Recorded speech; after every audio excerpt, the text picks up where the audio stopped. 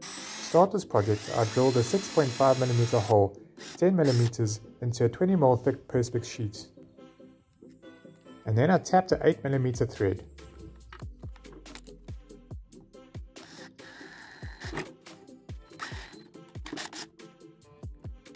In a previous video, I made a levitating magnet rotor. For this project, I got my idea from Robert Murray, a great YouTuber.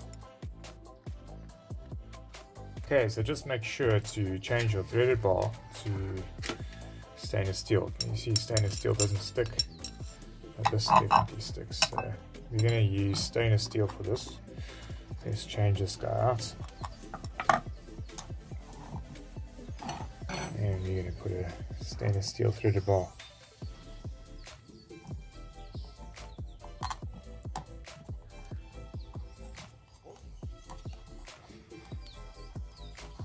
There we go.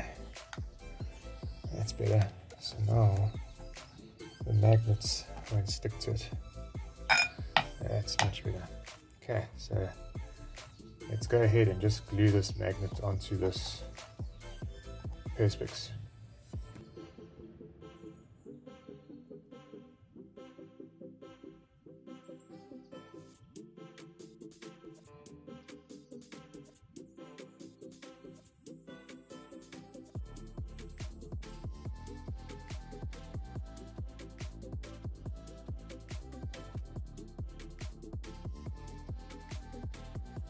Then I cut a circle of Perspex and divided the Perspex into 8 equal parts. This is where the magnets will go for the generator.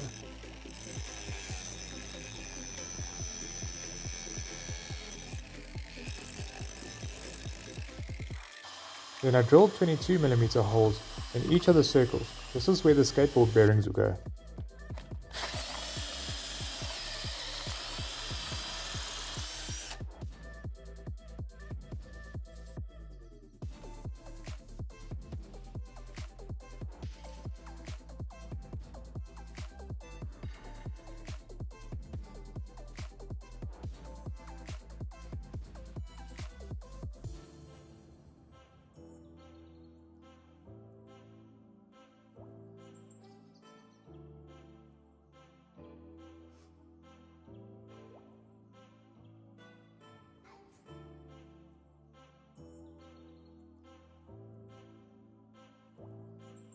Then I cut 40mm PVC pipe for the turbine blades.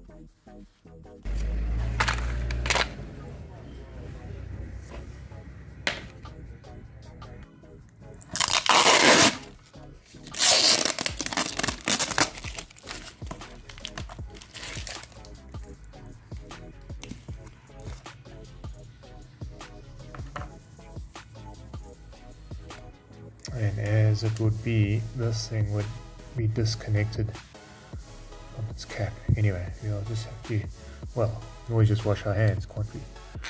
So these are going to go like this. I'm going to put them at about 30 degree well actually a 60 degree angle to the notch. So it's going to be like that on each of them. So let's go ahead and glue this onto here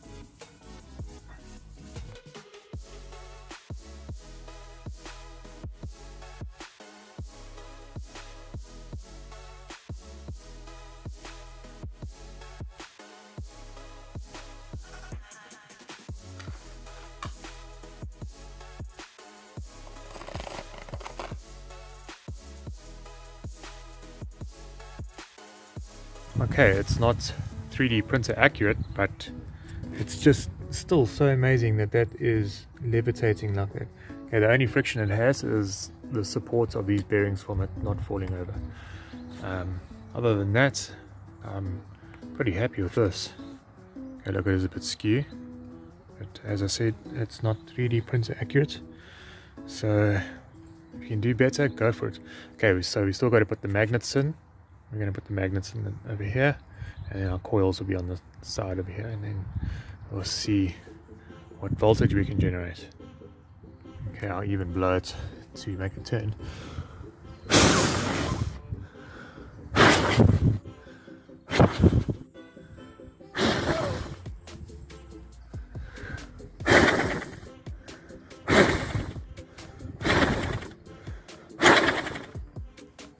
Isn't that amazing?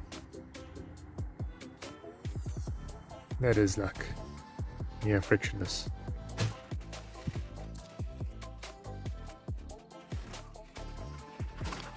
Then I use some steel epoxy to glue the magnets into position.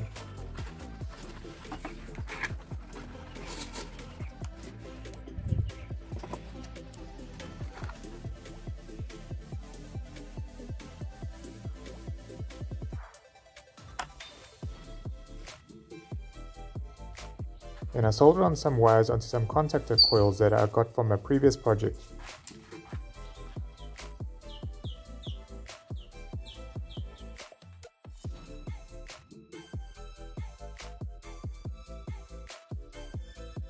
Then I cut some cardboard. This will lift the contactor coils up to the magnets.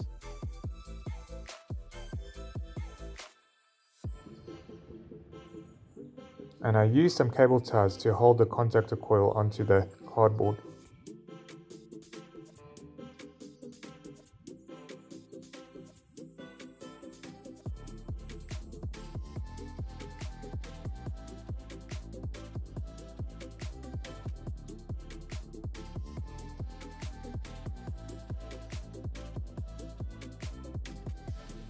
Then I filled the cardboard pieces with some hot glue.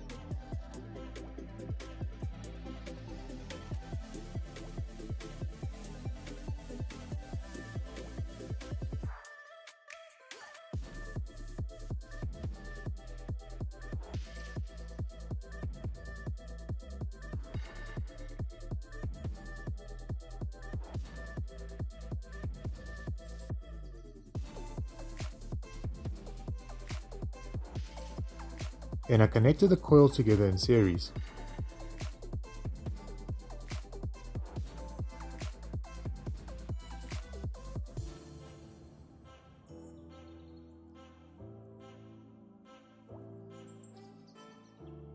Then depending how fast the rotor turns will determine the voltage.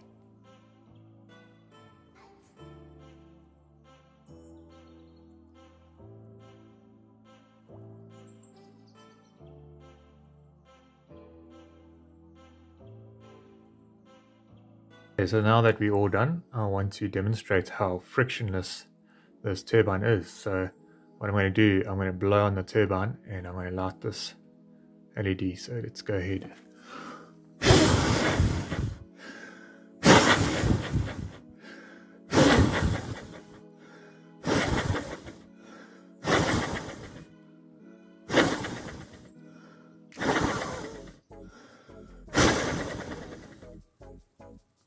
That is incredible. That is just so cool.